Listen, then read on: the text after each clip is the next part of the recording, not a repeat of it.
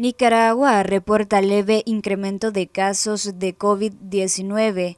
El Ministerio de Salud nicaragüense, a través de una nota de prensa, detalla que en el periodo que comprende del 23 al 31 de mayo del 2023 se presentaron 14 ciudadanos con COVID-19.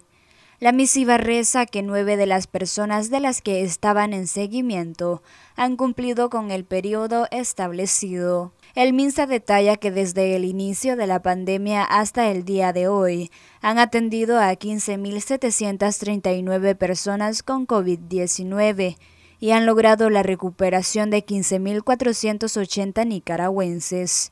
También aseguran que continúan trabajando para dar atención a las familias del país.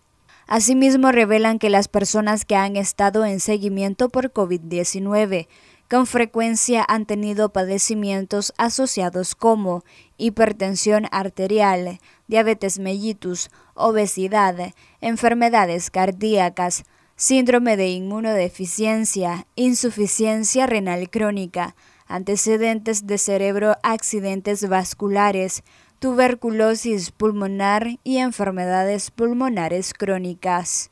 Cabe señalar que Nicaragua cumple 46 semanas de no reportar muertes por COVID-19, según informaron las autoridades de salud en su informe más reciente del coronavirus.